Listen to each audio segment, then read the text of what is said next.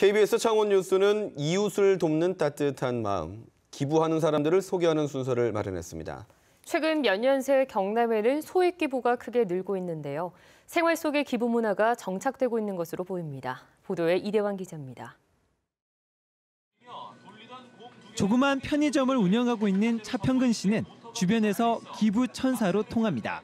지난 16년 동안 한 번도 빼지 않고 10kg 쌀 10포대와 현금 40만 원을 매달 어려운 이웃에게 내놓고 있기 때문입니다. 팔순 노모를 모시고 사는 차 씨의 형편도 사실 넉넉지 않은 상황.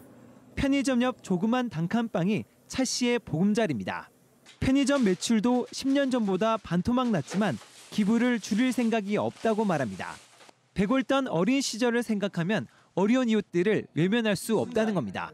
모친 보고 내가 뭐 돼지고기 한 건이라도 먹어보자 이런 데도 그걸 못, 해- 못 했으니까 내가 해줌으로써 뭐 몇 사람은 뭐 밥을 안 굶겠다 이런 걸 최근에는 기부에 조금이라도 더 보태려고 하루 세 갑씩 피우던 담배도 끊었습니다.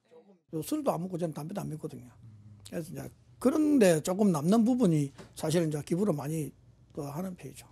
장기 불황 속에도 차 씨와 같은 소액 개인 기부자가 크게 늘고 있습니다.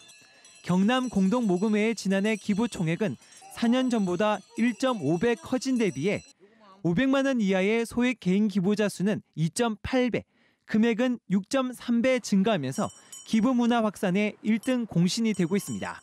십시일반 그 어떤 도민들이 예, 적은 금액이라도 같이 어려운 이웃들을 위해서 동참한다는 그런 어떤 어, 생각으로 경제 한파가 장기화되면서 큰손들의 기부는 줄고 있지만 서민들의 소액 기부는 오히려 늘면서 우리 사회에 희망을 안겨주고 있습니다.